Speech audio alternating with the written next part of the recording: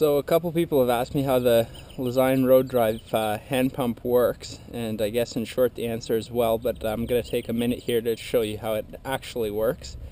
Uh, first off, the mounting.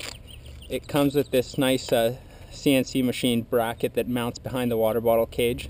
Um, I've opted to put mine behind the seat tube as I figure that cage gets a little less use and is uh, less likely to rattle loose. So uh, it's been working great. Uh, the pump itself is obviously, as you see, very nice. Um, it's perfectly color matched to my bike. If you know me, you know that's not by accident. Um, it's light. It's about, uh, I think, about 110 grams for this big one here, and I'll show you how it works. So the handle just twists out, pulls out of this rubber bracket. It holds it from uh, rattling loose, and uh, I pulled that ring off by accident there.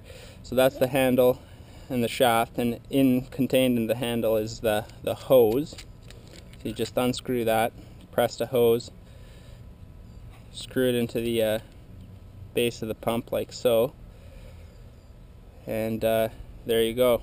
It's pretty much ready to go. So the nice thing about this pump having the hose is that uh, as you pump up the valve, you, it doesn't rattle the valve around and you're not likely to, to rip it at the base of the valve like you do with some other smaller hand pumps. So pretty much all you do is unscrew the valve like so, let a bit of air out, take the road drive pump, screw it right onto the valve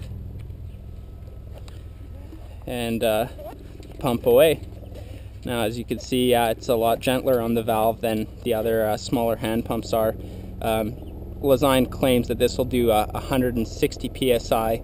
Uh, quite frankly I think you'd need a reconstructive shoulder, shoulder surgery if you did 160 psi but it will do 110 pretty easy which is uh, nice to get you up and going and when you're done pumping simply